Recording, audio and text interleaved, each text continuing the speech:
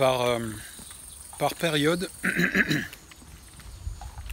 je me plonge comme ça dans des, euh, dans des sujets où, pendant un, certain temps, plusieurs jours, peut-être plusieurs semaines, je consomme articles, vidéos, euh, tout ce qui peut, tout ce qui me passe sous la main au sujet de, de tel ou tel sujet.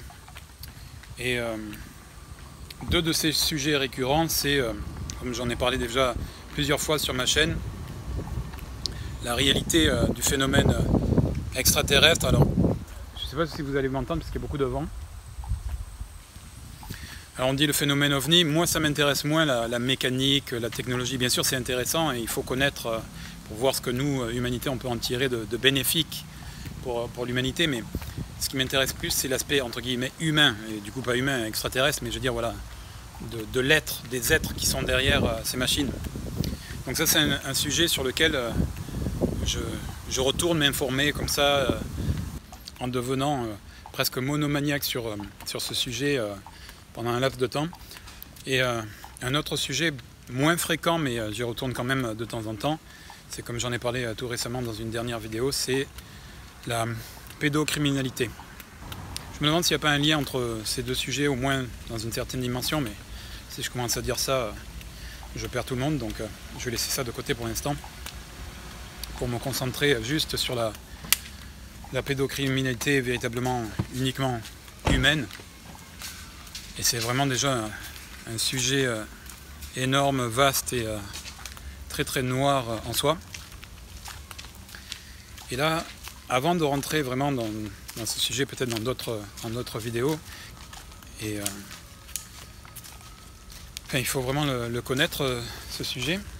Et euh, c'est l'une des raisons pour lesquelles moi aussi je me bats pour faire de la, France une, démocratie. Il y, a, le fait de connaître que nous sommes visités par des, euh, civilisations extraterrestres et savoir quelles sont leurs intentions et leurs interactions, etc. avec l'humanité. Il, y a ça qui est très important parce que c'est une question d'émancipation, de, se libérer d'éventuelles euh, interférences. Mais il y a aussi, et c'est encore une fois une question d'émancipation, cette histoire de la pédocriminalité parce que quand on s'intéresse ce sujet, on voit a les pédocriminels euh, sont dans toutes les strates de la, population, y compris dans des strates très élevées euh, telles que euh, juges, politiciens, police, inspecteurs, des, trucs comme ça, des, trucs qui sont censés structurer la société et, protéger les, citoyens, alors que malheureusement, quand on étudie ce, phénomène, enfin ce phénomène, cette réalité, ce cauchemar de réalité, on voit que c'est pas le cas. Euh, je perds un peu le, fil de, ma pensée, mais avant de...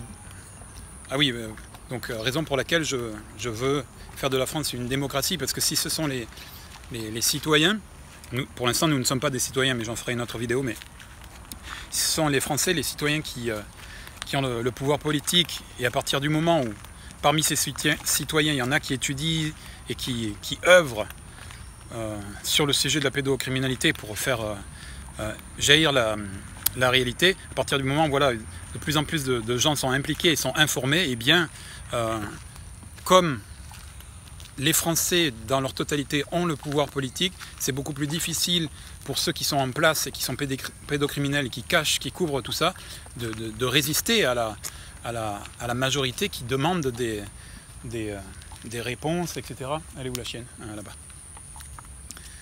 Donc c'est l'une des raisons pour lesquelles il faut, il faut faire de la France une, démocratie, parce qu'à l'instant où je vous parle, à l'instant où vous, regardez cette vidéo, euh, à tous les instants, il faut avoir en tête, et putain, je... Il faut avoir en tête qu'il y a des... Euh, il y a des gosses qui se font massacrer, quoi. C'est... Virtuellement, quoi. Je ne dis pas que c'est véritablement le cas à chaque, seconde, mais c'est virtuellement possible. Donc c'est impossible de vivre dans une, dans une société en sachant que ça, existe potentiellement à, chaque instant. Quoi. À chaque truc qu'on fait, on mange, on dort, on, prend du plaisir avec sa famille. Et quelque part dans, le monde, et peut-être des fois pas, pas très loin, il y a, y a, des enfants qui se font euh, brutaliser, euh, violer, torturer, tuer. Enfin bon, des trucs de, dingue quoi. Donc voilà, il faut vraiment que nous tous collectivement nous prenions le pouvoir pour répondre à toutes ces problématiques et des problématiques sordides et, cauchemardesques. Voilà. Mais ce que je voulais dire dans cette première vidéo, c'est que les, les pédocriminels se croient forts parce qu'ils sont, ils euh, transgressent les tabous, parce qu'ils sont différents de, la masse, parce qu'eux osent transgresser les tabous, eux ont du pouvoir sur euh, des pauvres victimes, etc. Et en réalité, c'est un, message que, que, je leur adresse, mais ce n'est pas du tout le cas.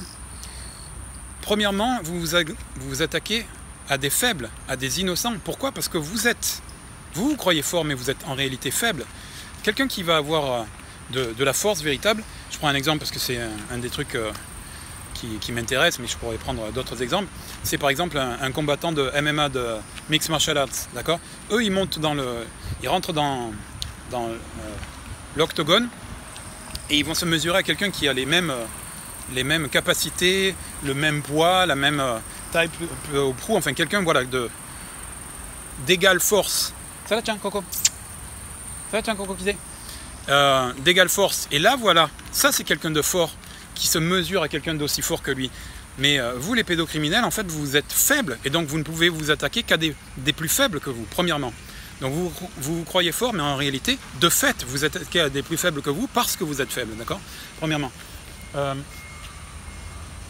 deuxièmement, vous vous croyez fort parce que vous répondez à vos pulsions sexuelles, sadique, etc. Mais encore une fois, c'est une faiblesse. C'est une faible. La force, c'est de dire, ben, j'ai envie de manger plus que ce que je devrais, mais non, je vais me limiter. Euh, contrôler, voilà, je, prends le, cas de la nourriture parce que c'est quelque chose de normal que tout le monde euh, peut comprendre, mais voilà, c'est contrôler ses pulsions, c'est ça la force, d'accord? Contrôler euh, ses colères, contrôler voilà les débordements qu'on peut avoir, c'est ça la force. Répondre à ces pulsions, je comprends que dans votre cas, elles sont fortes parce que parce qu'il y a eu des traumatismes peut-être pour vous aussi, et parce qu'il y a peut-être une maladie entre guillemets, enfin je sais pas comment il faut qualifier ça, une, perversion, un tabou, quelque chose qui n'est pas accepté par la, société. Et, en y répondant, en réalité, vous répondez à une pulsion animale. Vous êtes vraiment réduit à l'instinct animal même si vous utilisez votre intelligence humaine pour passer euh, entre les gouttes, pour ne pas vous faire attraper, pour attraper les victimes, etc. Mais en réalité, vous ne faites que répondre à une pulsion animale. Bon, il y a du bruit ici, je, reprends plus tard. Ici, je m'adresse euh, plus euh, particulièrement aux pédocriminels qui ont subi eux aussi des traumatismes, qui, qui est l'une des raisons peut-être aussi pour lesquelles ils font ce qu'ils font. Vous faites ce que vous faites. La force, si c'est l'une de, vos motivations, de, vous sentir euh, tout puissant, au-dessus du reste de la population, etc., elle n'est pas dans euh, le fait de, réduire en esclavage et, euh, d'abuser d'enfants. C'est pas du tout ça la force. Là, vous êtes au, fond, du, au fond du trou. Vous croyez que vous êtes au-dessus, mais en, vérité, vous êtes au, fond du trou. Et la force, ça serait de retrouver l'enfant qui est au fond de vous, l'enfant qui a été traumatisé, de l'entendre et puisque le passé ne peut pas être changé, on peut exorciser le passé en faisant des choix dans le présent. C'est-à-dire que l'enfant que maintenant vous avez en face de vous, c'est l'enfant que vous étiez euh, quand vous étiez euh, petit. Et donc la force, c'est de ne pas reproduire le schéma que vous avez euh, subi et de, contribuer à la libération, à la sécurité de, cet enfant, un peu comme, les, résistants lors de la Seconde Guerre mondiale avec avec les, juifs qui les, qui les cachaient, qui les, qui les aidaient à s'enfuir. C'était ça la force, contre tout un système nazi euh, de, peur, de conditionnement qui, qui poussait euh, nombre, nombre d'entre nous à, l'époque à, collaborer. Alors que la force, voilà, c'était d'aller contre le courant. Et là, dans le milieu dans lequel euh, vous êtes, et peut-être depuis votre enfance, vous êtes conditionné, vous êtes rendu à être des, des marionnettes qui réagissaient à des stimuli, et la force, c'est justement de, de, faire un pas de recul, de faire une introspection, et en faisant cette introspection, de retrouver l'enfant qu'il y a en vous, et de comprendre que la force, c'est de vous libérer de tout ce qui vous a euh, été, euh, de tout ce que vous avez subi, qui ne peut pas être changé euh, par le passé, mais qui peut être changé par le présent, en stoppant la perpétuation, la, la reproduction de ce mal. Je dis ça, mais je ne sais pas à quel point vous avez encore la raison pour vous. Vous avez une forme d'intelligence pour pouvoir passer entre les gouttes, etc., pour vous cacher dans la, dans, la population, certes, mais est-ce que vous avez encore, la, raison? La raison qui, encore une fois, de mon point de vue, fait partie de, la force véritable.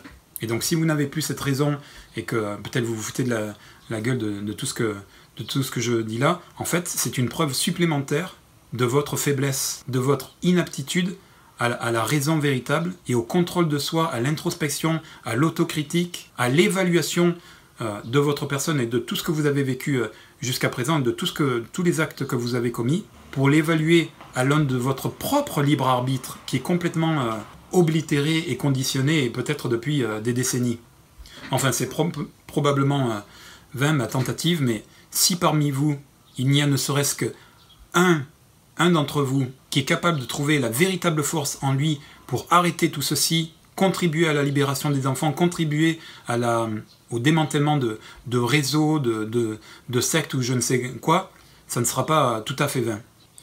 Et pour euh, les autres d'entre nous qui ne connaissons pas ce sujet de la pédocriminalité, il faut, c'est un sujet très très noir, très très dur, ce n'est pas pour tout le monde, mais il faut que parmi nous il y ait des, courageux, il y en a, il y en a, je le sais, qui se mettent à étudier, à s'informer sur ce sujet, comme sur le sujet de la démocratie, comme sur le sujet, euh, sur tous ces sujets euh, dont la majorité euh, d'entre nous semble se foutre parce que nous ne sommes pas en réalité des citoyens, mais nous sommes des, consommateurs électeurs de temps en temps, alors que la, véritable information, la véritable liberté, la véritable nourriture qui nous permettra de nous émanciper, elle est là, elle est dans la politique, elle est dans, dans la connaissance des, problématiques même noires, pour comprendre la réalité du monde dans ses, dans ses recoins les plus sombres et pour essayer de, contribuer à, son humble mesure à trouver des solutions pour euh, arrêter tout ça.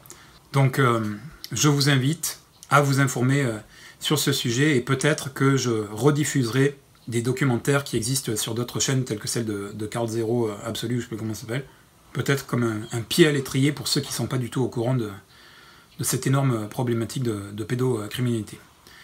Voilà, je ne vais pas terminer cette vidéo comme d'habitude par le triptyque euh, républicain parce que le sujet est très très lourd, même si euh, il s'agit quand même de, liberté, d'émancipation, euh, de fraternité, de, toutes ces choses-là aussi. Mais voilà.